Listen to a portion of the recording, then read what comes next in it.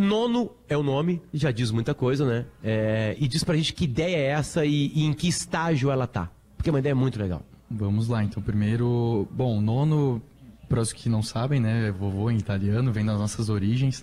Nós somos aqui do Rio Grande do Sul, uh, mas a nossa startup tem sua sede lá em, na, em Florianópolis, no ecossistema da ACAT, e agora a gente está trazendo aqui para o Instituto Caldeira também. ACAT é Associação? Associação Catarinense de Tecnologia. Uhum. Então lá onde a gente... Aliás, faz as nossas bem avançada, que consegue unir muito, botar muita startup junto ali, sabe? Isso que o Caldeira tá fazendo aqui, ela já faz há bastante tempo. Bem legal, né? Perfeito, perfeito. Mas já é, passando a nossa visão, inclusive aqui do Espaço do Caldeira, uh, não deixa a desejar também nenhum ponto nesse, nesse sentido. É, tá? né? É, um, é um espaço que realmente floresceu muito rápido.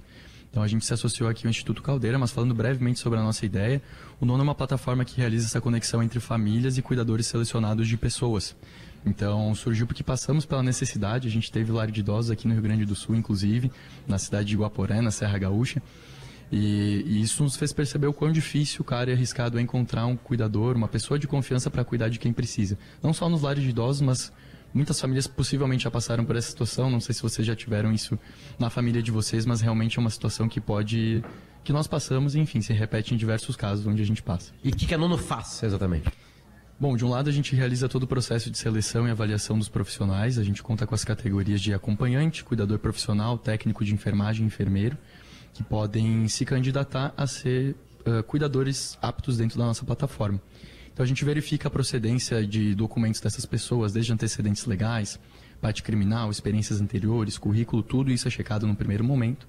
Se aprovado nessa etapa, ainda vai para um segundo momento de entrevista com o nosso time de psicólogos e teste psicológico até o momento da aprovação uma estatística que a gente gosta muito de trazer, até nos preocupava no começo um pouco, né?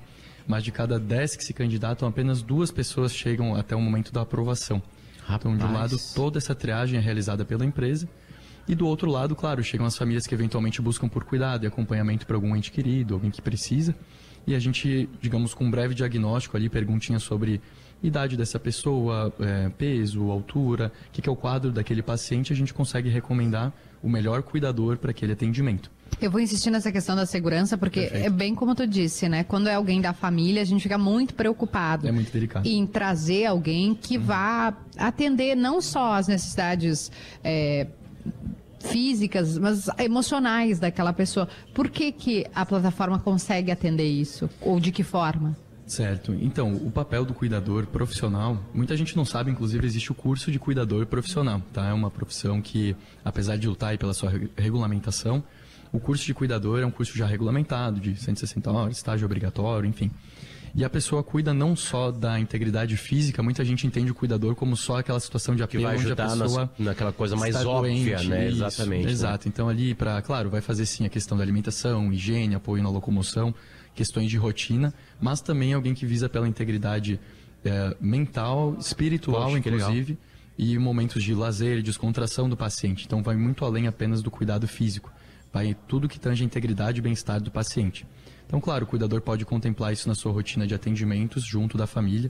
É algo que é construído personalizado de acordo com cada paciente, mas vai além só realmente do cuidado físico. Inclusive a categoria de acompanhante que a gente costuma trazer vai para pessoas que, por exemplo, não precisam necessariamente de um cuidado complexo de como um técnico de enfermagem, um enfermeiro, mas para as pessoas que muitas vezes precisam só de alguém para companhia. para jogar carta, inclusive tem gente que contrata. É verdade. Tem